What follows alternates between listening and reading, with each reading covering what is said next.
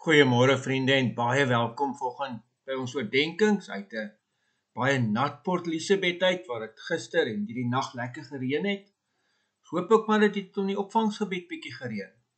Ek wil op 'n persoonlike noot sê baie dankie vir almal vir wie dit lekker was om weer, my weer te sien. Dit was baie lekker om ou kennisse weer te sien en net lekker te kuier. Dit was 'n baie spesiale tyd. En daarvoor sê ek vir elkeen van julle baie dankie ry vandag terug. Bid ook maar vir die Here ons veilig op die pad sal bewaar. Nou terug gaan huis toe. Ja, ons lees uit 2 Timoteus 4 uit. Wat my betref, ek word al reeds 'n drankoffer uitgegiet. Die tyd van my dood is voor die deur. Ek het die goeie wedloop afgelê. Ek het die wenstreep bereik. Ek het gelowig en tyd volgehou. Nou wag die oorwinnaarskroon vir my die lewe by God. Op die dag dat hy weer kom, sal die Here, die regverdige regter, dit vir my gee. En nie net vir my nie, maar ook vir almal wat met verlange uitsien na sy koms.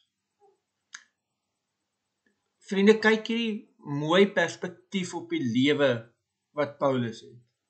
Hier is hy aan die einde van sy lewe. Hy besef sy dood is naby.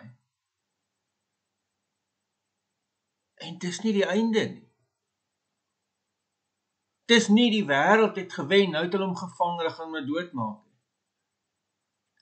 Presies die teendeel. Nou wag die oorwinnaarskroon vir my.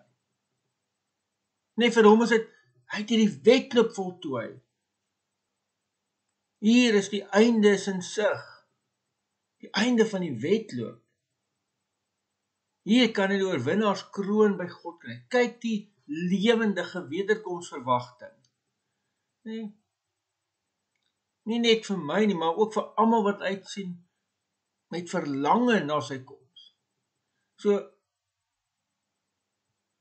vriende, hoe lyk jou wederkomsverwagting? Hoe lyk jou wedloop? As mense lang wedloop soos die Comrades doen, en jy kom daar naby die einde, dan is dit alwaarin jy dink. Alwaarin jy dink is ek moet net dit klaar maak. Dalk vra die teks ook vanoggend vir my en jou vir 'n nuwe fokus. 'n Nuwe verstaan van ons lewe. 'n Nuwe verstaan van die werklikheid. Amen. Kom ons bid saam.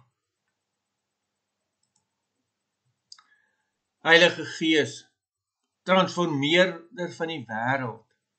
Laat die helende krag van God se liefde my vandag so omvorm, nee so geheel herskep dat ek 'n instrument sal word wat U kan gebruik.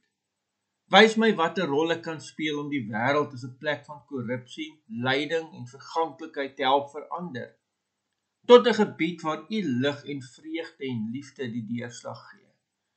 Maak my so gehoorsaam aan u, o Gees van nuwe moontlikhede, dat my lewe 'n lewende gebed sal word, 'n getuienis van u troue teenwoordigheid oral en in alle omstandighede. Amen. Vriende, mag u 'n pragtige en 'n mooi dag hê. Totsiens.